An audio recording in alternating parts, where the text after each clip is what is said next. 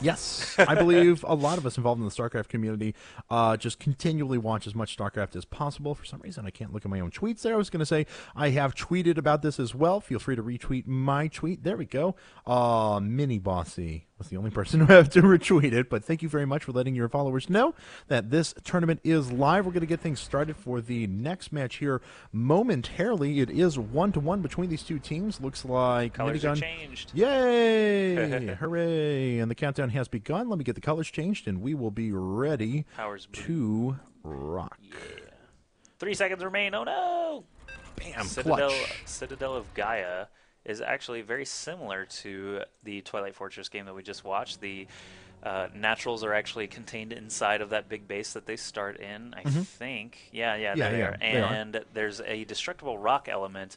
Actually, instead of just having a shared ramp, there's like a strange destructible rock. Yeah, there you go. That little three-way entryway. But Anyway, the players, again, this is the third game in a best of three series. This will determine who moves on in the lower bracket. Complexity Minigun as the light blue Protoss with his teammate Destiny, the pink Zerg. Over on the other side, we've got Hack ProTech, the orange Zerg, and his friend and teammate Power, the blue Terran. Power! Oh, Power! Power! Power Tech Pro. Here we go. Hack. Power Tech, ho, frack, thingy, bobber. All right, so here we go. We have uh, again a ZP versus ZT. See what both these players or both these teams end up doing here. Uh, that was a pretty effective strategy out of Destiny and Minigun last game around. I liked the quick and fester build out of Destiny, um, but I think a lot of that was once again on ProTech and Power. We have a pretty early pool going down for ProTech, as a matter of fact, because they didn't go for that super, super aggressive strategy in the very beginning of the game. They let Minigun and Destiny sit back and do whatever build they wanted. And what is this? Two SCVs are being sent out now for Power as well. Hello, I think we're going to have some uh, proxy racks in addition to quick pool play. There we go. Racks number one is down. Two going to be started as soon as he asks the economy to support that. My goodness. And Destiny just droning up happily. Minigun just building a gateway as you would normally see. Finally, a pool is going down there for Destiny at about 15. Uh, still no hatch, obviously, 2v2. You want to be a little bit more cautious when expanding, but uh, that pool's done now for Protech, and Destiny is not even halfway done, so he's going to get that first wave of lings probably over to Destiny's base right as his finishes. Those two proxy racks. Curious to see how effective those will be. They are in a pretty hidden location here. Citadel of Gaia is not a map that these guys have played very often, since it is a brand new custom map used for this specific tournament, Prodigy Team Star League. And here we go. So Protech going to make his way down now. He has six lings already done. He has another two in production. He'll have another four or so here done in a second as well. Destiny did expand. So he has a hatchery down. He's going to be producing more drones. I don't think. Okay, there we go. He has. He does have four Zerglings coming up at the moment. Uh, Minigun is going to have down a Zealot.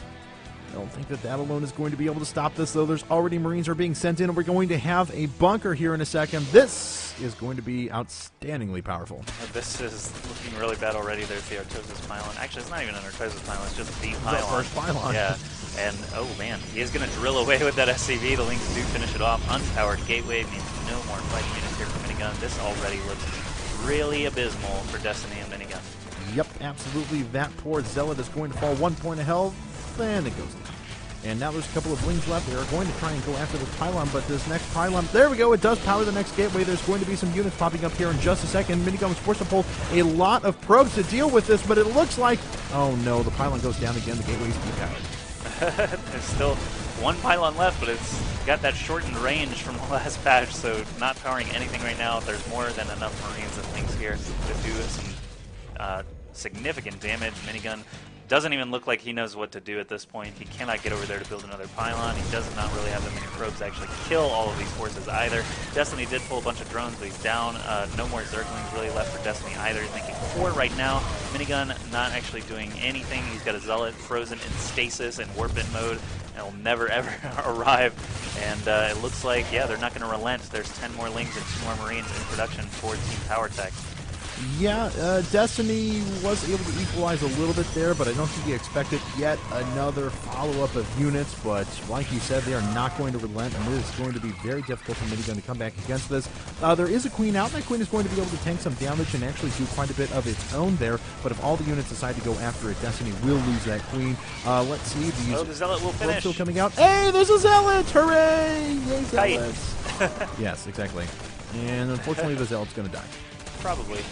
Yep, definitely. Okay, so Mornlings are here. ProTech still with 12 more in production. Two more barracks being built now for power. Obviously, this is a very significant build where uh, gas is not even needed, really, for the uh, Terran player at all. He can just keep spamming racks, keep spamming marines, and have that range advantage over anything that Minigun or Destiny can build right now. Okay, so we'll see what Destiny can do. He has a good number of lings up, but there are a better number of lings here for ProTech. In addition, there's those Marines supporting as well. So let's see if he pulls the rest of his drones as well. Looks like he is just re- reinforcing with as many lings as he has. And to his credit, he does have an extra hatchery advantage. So He has supply will- block, though. Ooh, yep, that's actually pretty bad. Yeah, one Overlord, one stray Overlord was picked off by those Marines, and that basically sealed the deal. Now he's under supply, but uh, doesn't have any money.